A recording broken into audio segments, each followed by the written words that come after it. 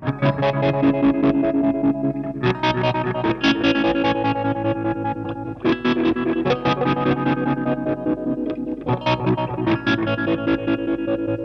everyone, part two of the commonality videos, so the parts that you commonly use um, and just some ideas on it if you're looking at stocking up on certain values and parts and things like that. Um, so the first video we looked at the resistors and the capacitors, um, including the ceramics. I left the electrolytics off because um, I wanted to break it up into three even parts. Um, so the electrolytics we'll look at in this video um, and we'll also look at diodes and I'll just have a look around in my parts collection and see if there's anything else that sort of fits into that category as well as we go along. So let's look at the electrolytics first. So you, electrolytics are very common. You use them in every single pro project. I can't think of one offhand that you wouldn't use it, and maybe some basic sort of Baz fuzz or something like that. Um, but um, most um, most of the parts, yeah, most of the pedals you use uh, at least one electrolytic. Um, so the values that I would say would be would be common are 1, 4.7, 10, um, 47, and 100. Um, they're the most common ones. As you can see, I've got other values here. I've got 2.2, um, I've got 22, 33, um, but they're not used quite as often as, um, as the others, um, uh, as, as the other ones I said at the start. Um, some occasionally with sort of power supply stuff, and some pedals have higher ones like 220 and 470, but again, they're not, they're not that common. Just realize that you can't actually see what I'm pointing at here. Um, but doesn't matter as long as you're following what I'm saying as far as the voice goes. Um, and they get quite big too when they get to, for instance, 470. Where's the camera? There. Um, you can see that one's getting quite large. Um, as it's like all capacitance, as the capacitance goes up, generally the, the size gets larger. But there are there are different um, sizes even amongst you know 470 microfarad capacitors. You can get ones that are five times the size of this one the voltage rating will um, will influence the size of it as well and the quality of the capacitor and where it's been made. I try and source the smallest ones I can find because I know with pedals um, the spacing is um, at a premium, so you want to um, not use something too big. Also, don't don't you don't want to use something that's going to not fit on the um, on the PCB as well. Um, so that's a 470 there, and 220 is quite large too. But I've managed to get some that are pretty small. I mean, it's kind of where am I here? That's kind of like a 100 microfarad size. That's pretty good. So that's 220 microfarad. you don't have to get low profile um, capacitors. I sell them. A lot of people use them. You don't have to get them. They are, they're a luxury. They, they're a nice luxury because they're, they're pretty much all I use um, these days um, because you don't have to worry about the height of the pedal. But take into account when you put a socket, and if you're using sockets, as soon as you put a socket in, you're almost up to that height anyway. Um, so you might not gain any benefit from using low profile caps um, as far as that goes. the diodes are a little bit more trickier. I uh, got it got it on the hand held at the moment just so I can show you and I'll just briefly go through these um, because it could get a little complicated here.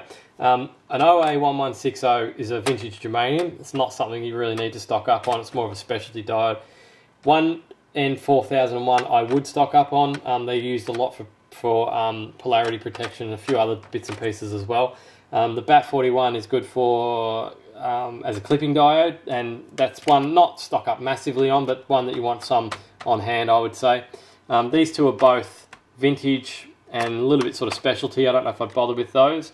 That the BAT46 is um, a uh, more of an experimental sort of diode. I don't know if I'd bother too much with that, but these 1N5817 um, is the is the diode that's used in series for uh, reverse polarity. So that's actually, and it's becoming a more popular um, way of providing reverse polarity. I think it's a better way personally than using a 1N4001.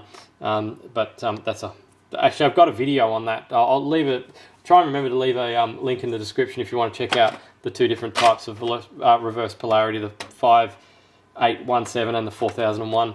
Um, but that's a good one, and it's becoming more popular. I'm noticing I'm selling a lot more of these. Um, I think I think that that the reverse polarity method is becoming more popular as well.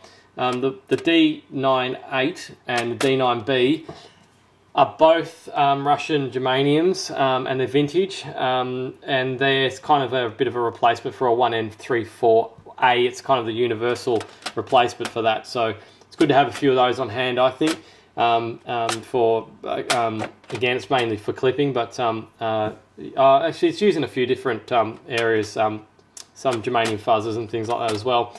Um, the 1N4148 or the 1N914, basically the exact same thing, um, is used a lot. That's one that you want to stock up on. It's almost as um, probably even more common than the 1N4001. Pretty much every overdrive and distortion's got one in it, so um, yeah, that's a good one to stock up on.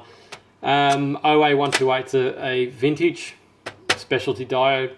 Um, now these are voltage um, from uh, what are they? Voltage um, regulators. Um, you you only need one of these when you need one of these. I wouldn't bother stocking up on them. So you're looking at all the 473s. So 4738, 4739, 4733, 4742. And OA126, whoops, sorry, I'm off. I'm looking at what I'm pointing at. OA126 is a, a expensive dinosaur. I wouldn't bother with it.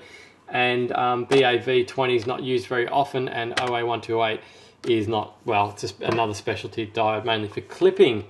So that is pretty much all the diodes that I have. There's obviously a lot of others. If you've got suggestions for people, please leave it in the comments because um, um, I'm sure other people would like to know if I've missed any that are very popular. Can't think of any offhand that I have, but if I have, please let me know.